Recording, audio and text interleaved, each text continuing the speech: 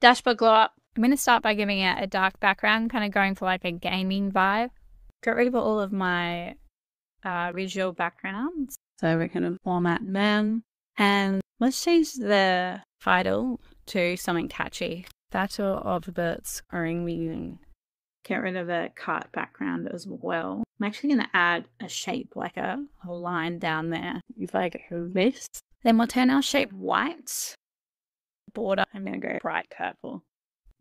And let's bring it in. And I'm going to get the title actually to overlap shape. See how that looks. Change that all to white. I read it. And then we're going to make this Arial black nice and bold. Resize it a bit. And we'll bring our data cut up. Also make the call out the same Arial black. So it pops. We'll make the label smaller. So we'll go a dim white and zero gap between that. Change the label to hours to dang. Do the same thing down the bottom, like it's striking all the way through.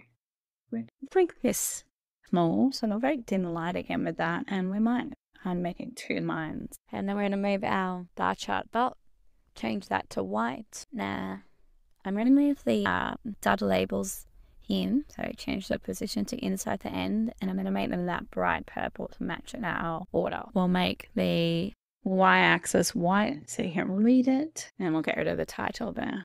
I'm going to bring in some pictures because people comprehend pictures faster than words. Yeah. Where's your contest? Maybe if I make this wider. Yeah, that works. No, I'm something down the bottom here just to fill this space. And I'll bring in a light bulb and matches that style uh, as well. Make sure you make it. Do it like that. I'm going to bold offline in my side. So that's the key point. And there you go. Got it, the insights.